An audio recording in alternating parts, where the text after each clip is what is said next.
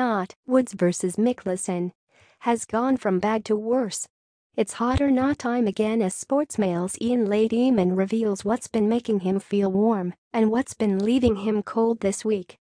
Hot Eden Hazard The Chelsea forward is flourishing under the guidance of new coach Maurizio Sarri, and while the Belgian continues to play so well, his persistent talk about his attraction to a move to Real Madrid will remain a sideshow.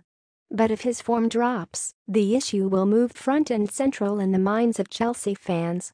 Hazard plays for Chelsea. Best he talks only about them, really. Steve Price the Warrington Wolves coach has taken the club to today's Super League Grand Final in his first season and has a bond with supporters. The Aussie spotted an elderly fan at a bus stop recently and stopped to give him a lift to a home game. He was chuffed as it meant he could get on the beer quicker, said Price. Martin Dubravka Newcastle manager Rafael Benitez does not get to make many transfers, so it's important he gets them right. As he showed with a terrific display at Old Trafford, goalkeeper Dubravka has been a huge hit on Tyneside and cost only £3. £6 million to bring in.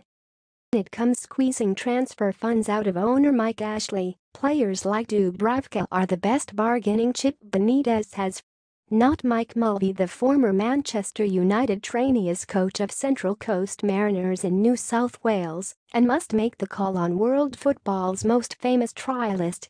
Usain Bolt played up front for the Mariners in a trial yesterday and scored twice. Mulvey will be a brave man to say no now. Tiger and Phil The Las Vegas showdown between the two titans of American golf was a bad idea from the start and gets worse with news that no fans, only VIPs and sponsors, will be allowed on the course. Anybody who wants to watch Woods and Mickelson on TV, meanwhile, faces a $25 pay-per-view charge. No chance I will order that, tweeted world number 4 Justin Thomas. He will not be alone. Tierney the young Celtic left-back scored an own goal as Scotland lost to Israel in Haifa.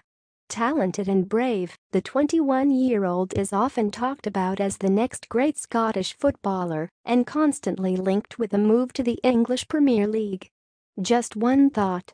If he really is that good, why has nobody bought him yet?